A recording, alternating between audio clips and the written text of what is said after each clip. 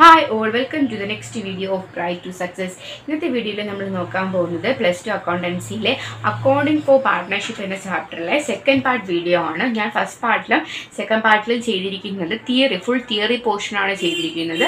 നമുക്ക് അടുത്ത പാർട്ടിൽ എന്താണ് പ്രോബ്ലം ഒക്കെ ചെയ്യാവുന്നതാണ്. ഓക്കെ അതുപോലെ തന്നെ ഞാൻ ഫസ്റ്റ് പാർട്ടിലും സെക്കൻഡ് പാർട്ടിലും ഒരു ഈ ചാപ്റ്ററിൽ സെക്കൻഡ് ചാപ്റ്റർ സെക്കൻഡ് ചാപ്റ്റർ ആണെങ്കിൽ സെക്കൻഡ് ചാപ്റ്ററിൽ ഇമ്പോർട്ടന്റ് പൊസിഷനായ എന്താണ് interest on capital interest on ഡ്രോയിങ്സിലെ പ്രോബ്ലംസും തിയറി പോർഷനും ഒന്നും ഇൻക്ലൂഡ് ചെയ്തിട്ടില്ല. കാരണം എന്താണെന്ന് വെച്ചാൽ കുറച്ച് ആ ഒരു ചാപ്റ്ററിൽ കുറച്ച് ടഫ് ആയിട്ടുള്ളതും കുറച്ചൊന്ന് കൂടുതൽ ഫോക്കസ് ചെയ്യേണ്ടതും അതാണ്. അതുകൊണ്ടാണ് ഞാൻ അത് സെപ്പറേറ്റ് വീഡിയോ ആയിട്ട് ചെയ്യാവുന്നതാണ്. ഓക്കെ അപ്പം നമ്മൾ കഴിഞ്ഞ ക്ലാസ്സിൽ എന്തൊക്കെ പഠിച്ചു?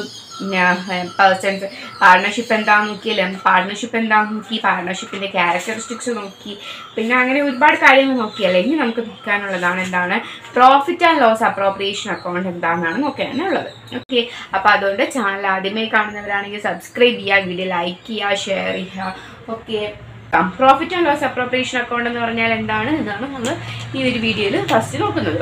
Okay a profit and loss appropriation account in partnership is an extension of profit and loss account and is prepare to show how the net profit has been distributed among partners ഇവിടെ എന്താ പറഞ്ഞിരിക്കുന്നത്? Profit and loss appropriation account എന്ന് പറഞ്ഞാൽ profit and loss account നമ്മൾ plus വണ്ണിൽ profit and loss അക്കൗണ്ടിനെ പറ്റി പഠിച്ചിട്ടുണ്ടല്ലേ? ആ പ്രോഫിറ്റ് ആൻഡ് ലോസ് അക്കൗണ്ടിന്റെ എക്സ്റ്റെൻഷൻ ആണ് എന്നാണ് പറഞ്ഞിരിക്കുന്നത്. അല്ലേ? ദെൻ എന്തിനു വേണ്ടിയിട്ടാണ് പ്രിപ്പയർ ചെയ്യുന്നത്? Profit and loss appropriation account prepare ചെയ്യാൻ എന്തിനു വേണ്ടിയിട്ടാണ് issue how net profit has been distributed among profit profit ഒരു ഓർഗനൈസേഷനിലെ പ്രോഫിറ്റ് ആണെങ്കിൽ ആ നെറ്റ് പ്രോഫിറ്റിനെ എങ്ങനെയാണ് പാർട്ട്നേഴ്സിന് ഡിസ്ട്രിബ്യൂട്ട് ചെയ്ത് കൊടുക്കുന്നത് എന്നുള്ള ഫുൾ എന്താണ് എത്രയൊക്കെയാണ് കൊടുത്തത് എന്നൊക്കെയുള്ള ഫുൾ ഡീറ്റെയിലിന് വേണ്ടിയിട്ടാണ് എന്തെടുക്കുന്നത്?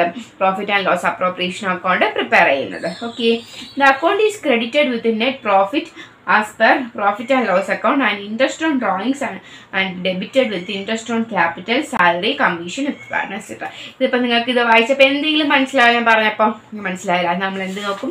ഇപ്പൊ നമ്മൾ കണ്ടോ പ്രഫോം നോക്കുമ്പോൾ നിങ്ങൾക്ക് മനസ്സിലാവും. എന്താണ് ക്രെഡിറ്റ് സൈഡിൽ എന്താണ് ഡെബിറ്റ് സൈഡിലൊക്കെ നോക്കുമ്പോൾ നിങ്ങൾക്ക് മനസ്സിലാവും. Okay if how our and loss account shows the net loss അല്ല നെറ്റ് ലോസ് ആണെങ്കിൽ എന്ത് ചെയ്യുമെന്നാണ് പറഞ്ഞിരിക്കുന്നത് ഡെബിറ്റ് ചെയ്യും നെറ്റ് പ്രോഫിറ്റ് ആണെങ്കിൽ എന്ത് ചെയ്യും പ്രോഫിറ്റ് ആൻഡ് ലോസ് അപ്രോപ്രിയേഷൻ അക്കൗണ്ടിൽ എന്ത് ചെയ്യും ക്രെഡിറ്റ് ചെയ്യും അത് നമുക്കിപ്പോൾ ഇവിടെ നോക്കാം okay then after the, these adjustments have been made any amount of profit or loss has been transferred to partner's capital account or current account as the case may be in either profit sharing ratio okay അപ്പോൾ നമുക്ക് നിങ്ങൾക്ക് ഇതൊന്നും ഇതൊക്കെ എന്താണ്? നിങ്ങൾ just ഈ profit and loss appropriation അക്കൗണ്ടിന്റെ ഈ ഒരു എക്സ്പ്ലനേഷൻ മാത്രം പഠിച്ചു വെച്ചേക്കുക ഇവിടെ മുതൽ ഇവിടം വരെ ഒന്ന് പഠിച്ചു വെച്ചേക്കുക ഓക്കെ അപ്പോൾ ഇത് പഠിക്കുമ്പോൾ തന്നെ നിങ്ങൾക്ക് ഇതെന്താണ് മനസ്സിലാവും. പിന്നെ ഇവിടെയുള്ളത് നമ്മുടെ ഇവിടെ പ്രൊഫോമിയിൽ കൊടുത്തിട്ടുണ്ടോ നിങ്ങൾക്ക്?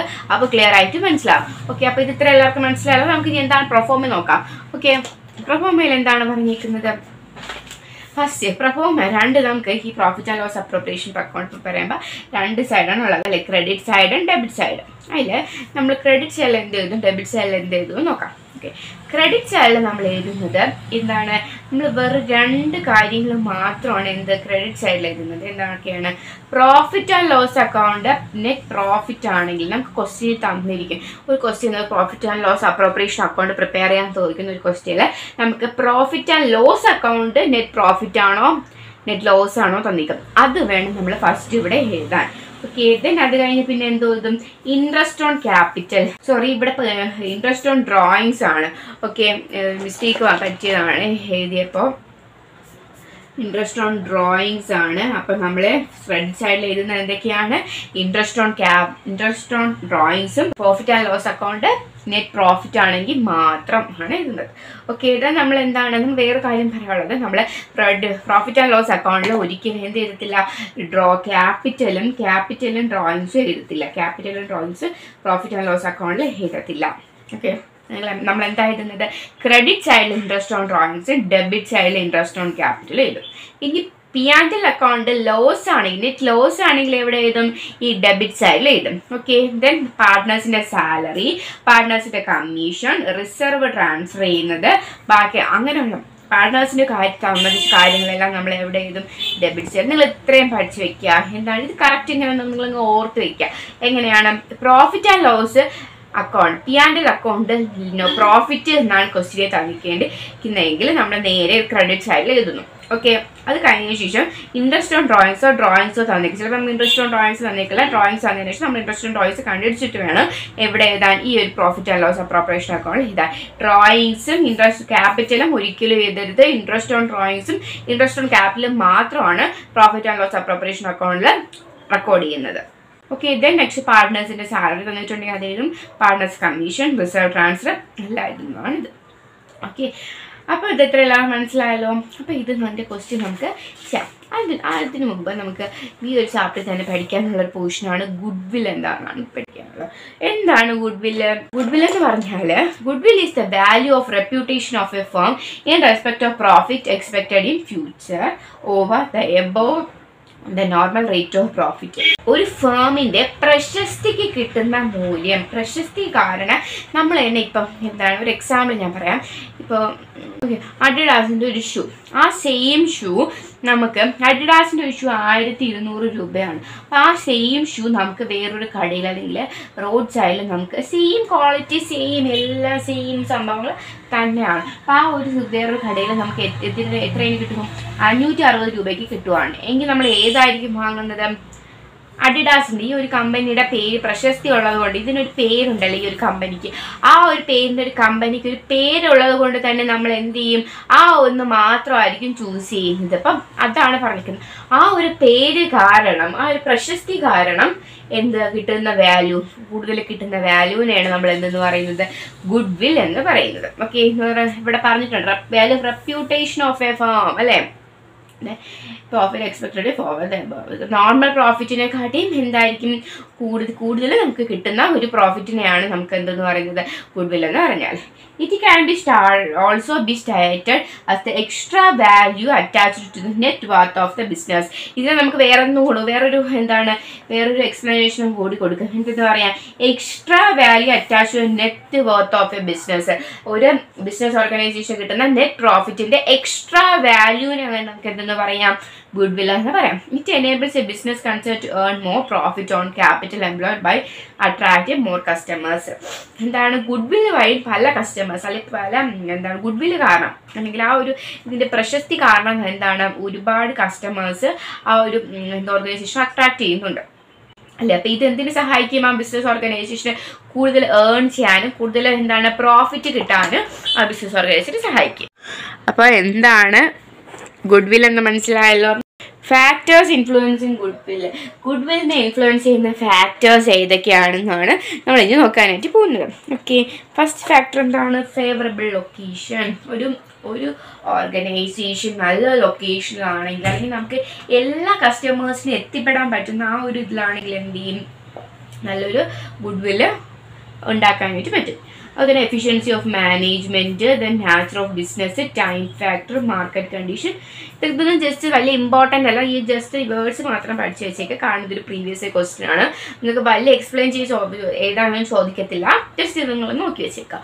Okay the need for valuation of goodwill goodwill എന്തിനു വേണ്ടിയിട്ടാണ് വാല്യൂ ചെയ്യുന്നത്? അല്ലേ? അല്ലെങ്കിൽ ഗുഡ് വിൽ എപ്പോഴാണ് വാല്യൂ ചെയ്യുന്നത്? എന്തിന് എപ്പോഴാണ് ഒരു പാർട്ട്ണർ ഫസ്റ്റ് ഫസ്റ്റ് അതാണ് കൊടുത്തേക്കുന്നത്. എന്താണ്? On admission of a partner ഒരു പാർട്ട്ണർ ഒരു പാർട്ട്ണർഷിപ്പ് ഫാമിലോട്ട് അഡ്മിറ്റ് ആവുന്ന ടൈമിൽ ഗുഡ് വില്ല് വാല്യൂ ചെയ്യും. കാരണം എന്തിനാണ്? കാരണം എന്തിനാണ്? ഇപ്പം ഞാനൊരു ഓർഗനൈസേഷനിലോട്ട് എന്റർ ആവുകയാണ് ഓക്കെ ഓക്കെ അതിന് പറയണം നമുക്ക് എയും ബി എന്ന് പറയുന്നത് ഒരു പാർട്ട്നേഴ്സാണ് അവിടെയുള്ള ഫർണിച്ചേഴ്സും ബാക്കി എല്ലാ സാധനങ്ങളും വാങ്ങിച്ചു വെച്ചിരിക്കുന്ന ആരാണ്? ഈ എയും ബിയും കൂടി ചേർന്നിട്ടാണ്. ഓക്കെ അപ്പോൾ സി എന്ന് പറയുന്നത് ഞാൻ അങ്ങോട്ട് എന്റർ ആവുകയാണ് അപ്പോൾ എന്താണ്? ഇത് എന്താ ഇത്രയും നാളെ മാർക്ക് ആണ് കിട്ടിക്കൊണ്ടിരുന്നത്.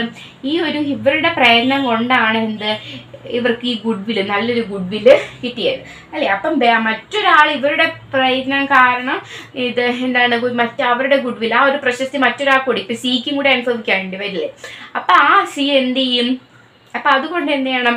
ഗുഡ് വില്ല് ഒന്നിന്ന് വാല്യൂ ചെയ്യണം അല്ലേ? ഗുഡ് വില്ല് എത്രയാണെന്ന് വാല്യൂ ചെയ്തിട്ട് ആ പൈസ ആര് തരും? അതിന്റെ ഒരു പോർഷൻ ആര് തരും? ഈ സി തരും. അത് നമ്മൾ ബാക്കി അങ്ങോട്ട് പഠിക്കും. ഇപ്പം എന്തിനു വേണ്ടിയിട്ടാണ്? അഡ്മിഷൻ ഒരു പാർട്ട്ണർ അഡ്മിറ്റ് ആകുമ്പോൾ പിന്നെ അല്ലെങ്കിൽ ഒരു പാർട്ട്ണർ ഒരു ഓർഗനൈസേഷനിൽ നിന്ന് പോകും പോകുന്ന സമയത്ത് അല്ലെങ്കിൽ partner death of a partner ഒരു പാർട്ട്ണർ മരിക്കുന്ന സമയത്ത്. റിട്ടയർ ആയി പോകാന്ന് പറഞ്ഞാൽ ഞാൻ ഈ ഓർഗനൈസേഷനിൽ നിന്ന് പോകുന്നു എന്ന് പറഞ്ഞ് പോകുന്നതാണ്. ഓക്കെ താല്പര്യമില്ലാത്തതുകൊണ്ട് തന്നെ പോകുന്നതാണ്. ഓക്കെ ദെൻ നെക്സ്റ്റ് വരുന്നതാണ് when there is a change in profit sharing ratio അവരൊരു എഗ്രീഡ് പ്രോഫിറ്റ് റേഷ്യോയിലായിരിക്കുമല്ലോ പാർട്ട്ണർഷിപ്പ് ഫോം തുടങ്ങുന്നത്. അപ്പോൾ അവർക്ക് നമ്മൾ അവർ റൺ ചെയ്തുകൊണ്ടിരിക്കുന്ന എന്തില്ലെങ്കിൽ പ്രോഫിറ്റിൽ ഷെയർ വരണം. ഇപ്പം എയുടെ പ്രോഫിറ്റ് എന്ന് പറഞ്ഞാൽ ത്രീ ഇസ് ടു വൺ ആണ്. ഓക്കെ അപ്പം പിന്നെ അവരെന്തെങ്കിലും കാരണത്താൽ എന്ത് ചെയ്യുവാണ്? Profit four is to three ആക്കുവാണെങ്കിൽ. അപ്പോൾ ആ ടൈമിലൊക്കെ എന്ത് ചെയ്യും? ഈ പ്രോഫിറ്റ് ഷെയറിംഗ് റേഷ്യോ അപ്പോൾ എന്ത് ചെയ്യും goodwill റിവാലേജ് then when two or more partner firms are amalgamated എന്ന് വെച്ചാൽ എന്താണ്? രണ്ടോ ഒന്നോ അതൊന്നോ അതിലൊക്കെ മോ ഫേം അല്ലെ? രണ്ട് ഫേം തമ്മിൽ കൂട്ടിച്ചേർക്കുന്ന സമയത്തും ഈ ഒരു ഗുഡ് വില്ലിന്റെ വാല്യൂഷൻ നടത്താറുണ്ട്. പിന്നെ ഫേം ബിസിനസ്സും firms business is dissolved and sold to a company എന്താണ്? ഒരു ഫേമിന്റെ ബിസിനസ് സോൾവ് ചെയ്ത് എന്താണ് ഒരു ഡിസോൾവ് ചെയ്യാന്ന് പറഞ്ഞാൽ അടച്ചുപൂട്ട് ആ ആ ഒരു business organ partnership business organisation അടച്ചുപൂട്ടി അതൊരു കമ്പനിക്ക് വിൽക്കുകയാണ് ചെയ്യുന്നത്. അപ്പോൾ ആ സമയത്തും എന്ത് ചെയ്യും? ഈ ഒരു ഗുഡ് വില്ല് വാല്യൂ ചെയ്യും. Okay then goodwill value ചെയ്യാനായിട്ട് നമുക്ക് അഞ്ച് മെത്തേഡ്സ് ആണ് പഠിക്കാനായിട്ട് ഈ അഞ്ച് മെത്തേഡ്സ് നിന്നും ക്വസ്റ്റ്യൻ ക്വസ്റ്റ്യൻ പേപ്പേഴ്സിലെല്ലാം വരാറുണ്ട് ഓക്കെ അപ്പോൾ നമുക്ക് ഏതൊക്കെയാണ് മെത്തേഡ് നോക്കിയിട്ട് അടുത്ത വീഡിയോയിൽ അഞ്ച് മെത്തേഡ് ഏതാണെന്ന് നോക്കാം. ഓക്കെ അപ്പോൾ നമുക്ക് ഇത് അഞ്ച് മെത്തേഡ് എക്സ്പ്ലെയിൻ ചെയ്ത് നോക്കാം. ഫസ്റ്റ് മെത്തേഡ് എന്താ average profit method then weighted average method super profit method ഇതാണ് ഒരു ഏറ്റവും important ആയുള്ളൊരു method okay then capitalisation capitalisation തന്നെ രണ്ടെണ്ണം ഉണ്ട്. ഏകദേശം രണ്ടും ഒരുപോലെ തന്നെയാണ് ചെയ്യേണ്ടത്. Then present value of super profit ഏറ്റവും അധികം ഇമ്പോർട്ടന്റ് ഈ സൂപ്പർ പ്രോഫിറ്റ് മെത്തേഡാണ് ഓക്കെ ദെൻ നമുക്ക് നോക്കാനുള്ള ചെറിയൊരു പോർഷനാണ് ജോയിൻ ലൈഫ് പോളിസി ഈ ഒരു ചാപ്റ്ററിൽ ലാസ്റ്റ് വരുന്നതാണ്. നോക്കി വെച്ചേക്കാം. അല്ലേ? നമുക്ക് എല്ലാം നോക്കണമല്ലേ? എവിടെ നിന്നാണ് ക്വസ്റ്റ്യൻ വരുന്നത്? എന്ത് പഠിക്കണമെന്ന് നമുക്ക് കറക്റ്റ് അറിയില്ല? അപ്പോൾ അത് നോക്കാം.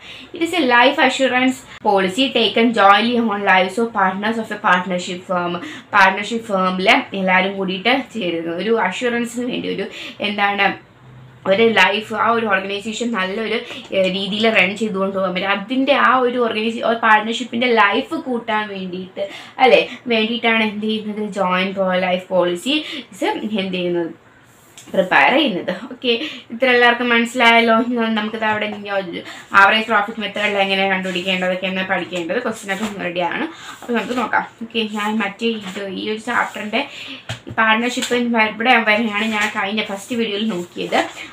അപ്പോൾ എന്തായാലും ഇത് ഒരു പ്ലസ് ടു എന്താണ് plus one plus two class തീരുന്ന മുമ്പ് നമ്മൾ എല്ലാ ചാപ്റ്ററിന്റെ എല്ലാ പോർഷനും മെയിൻ പോർഷനും എല്ലാം ഫോക്കസ് ചെയ്ത് ചാപ്റ്റേഴ്സ് തീർക്കുന്നതായിരിക്കും. ഓക്കെ ഈ ഒരു പോർഷൻ ഈ ഒരു വീഡിയോയും കൂടെ കഴിഞ്ഞതിന് ശേഷം ഞാൻ ഇനി എക്കണോമിക്സിന്റെ വീഡിയോസ് ഇടാവുന്നതാണ്. പ്ലസ് വൺ പ്ലസ് ടു കാർക്കുള്ള എക്കണോമിക്സിന്റെ വീഡിയോസ് ഇടാവുന്നതാണ്. ഓക്കെ അപ്പോൾ ഞാൻ രണ്ട് ചാപ്റ്റർ രണ്ട് ആ ചാപ്റ്റർ വെച്ചിട്ടാണ് തീർത്ത് പോകുന്നത്. ഓക്കെ ഇത് ഞാൻ ഇപ്പോൾ ഇത് തിയറി പാർട്ട് മാത്രം പറയാൻ കാരണം എന്താണെന്ന് വെച്ചാൽ എക്സാം ടൈമിൽ നിങ്ങൾക്ക് കൂടുതൽ ആവശ്യം പ്രോബ്ലംസ് ആണ്. അപ്പം ആ ടൈമിലായിരിക്കും നിങ്ങൾക്ക് കൂടുതൽ കാണാൻ വേണ്ടിയിട്ട് അതിൽ അല്ലേ?